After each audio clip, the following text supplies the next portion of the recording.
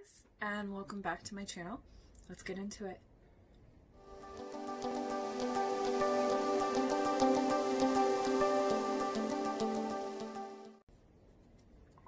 So, as you can see, my cat is here.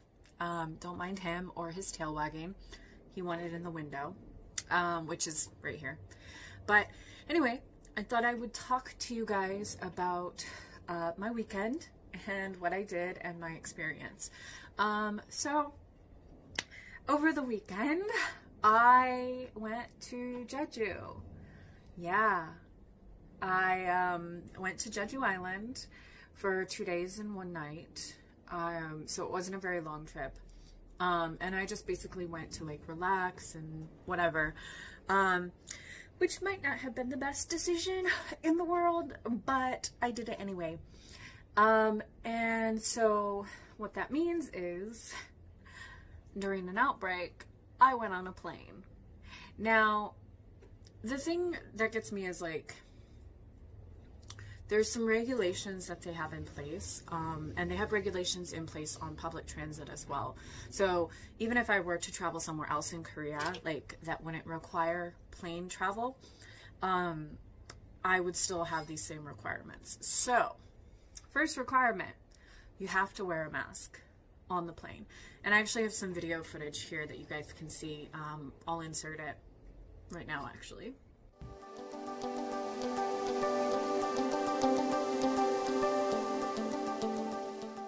And as you can see here, they make you wear a tricks. They make you wear masks. I'm obviously wearing a mask, and you can kind of see the people behind me all are wearing masks as well.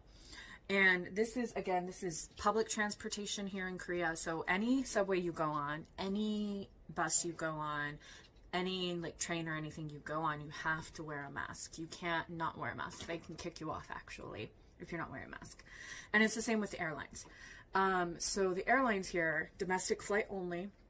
Um, if you're on a domestic flight, you have to wear a mask. And if you're not, uh, they uh, the flight attendants will go to you and tell you that you should put on a mask.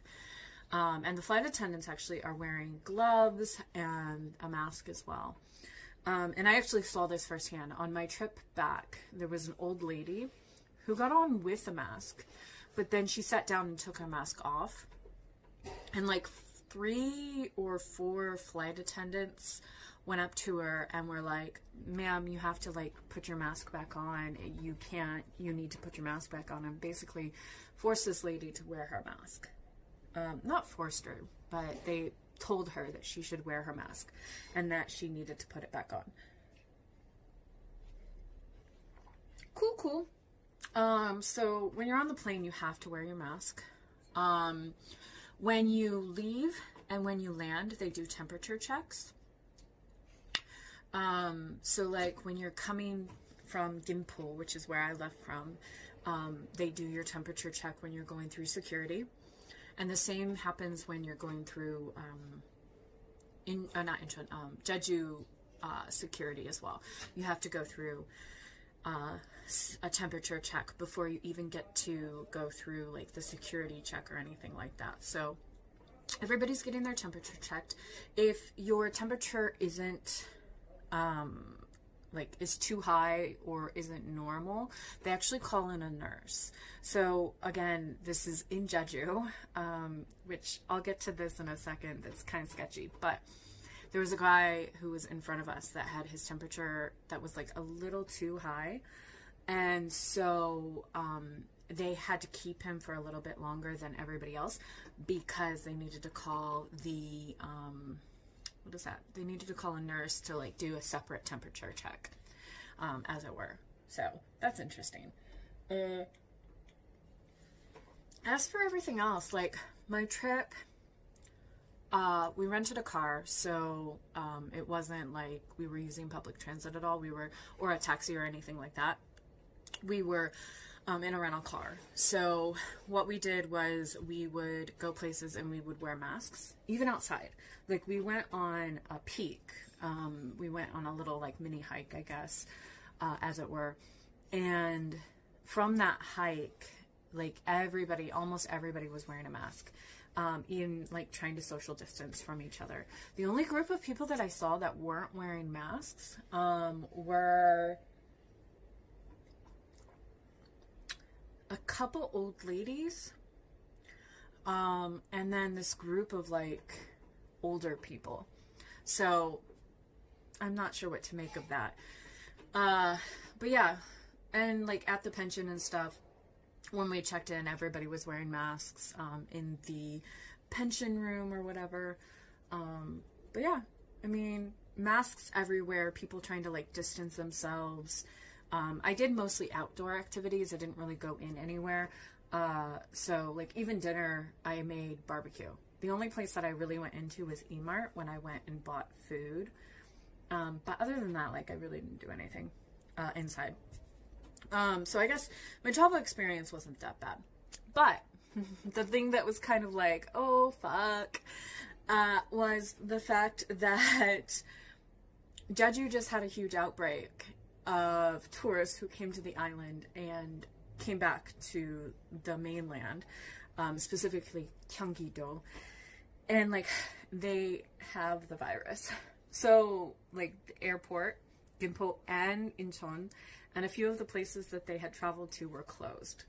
Um, and like not closed, but like due to clean and stuff. And it was like, oh fuck, like this is like why you don't travel during uh, outbreak because you could potentially uh, contract the virus even though you're taking all the precautions and everything. Like I brought hand sanitizer with me and like I wash my hands all the time and all of this stuff, but you can be over cautious and still get the the, the um, virus, right?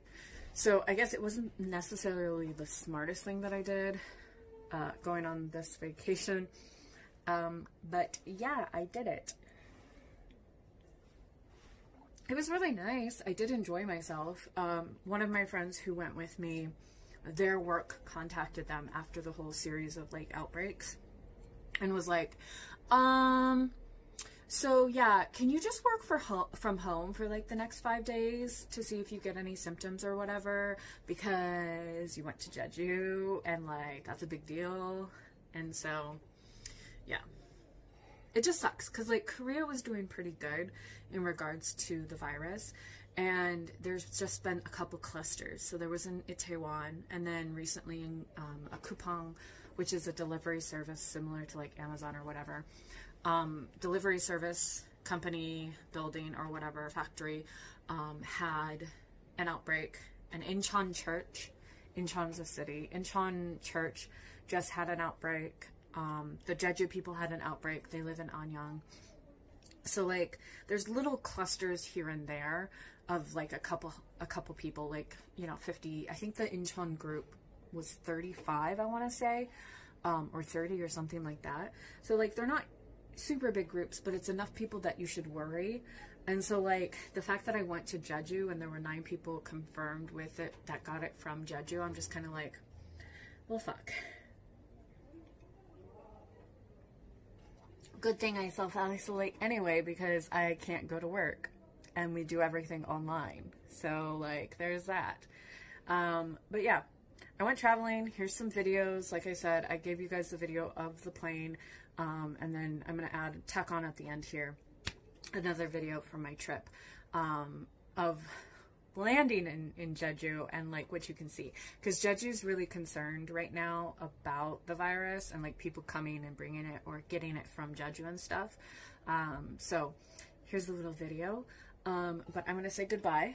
I love you guys and I'll see you in my next video. Bye.